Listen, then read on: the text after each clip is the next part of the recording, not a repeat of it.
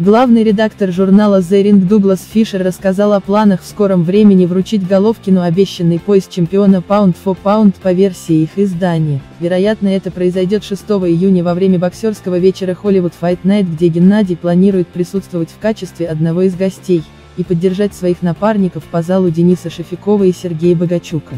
Мы подготовим пояс до следующего Hollywood Fight Night. Возможно презентуем его Геннадию прямо на ринге, или во время взвешивания, сказал Фишер в Periscope трансляции.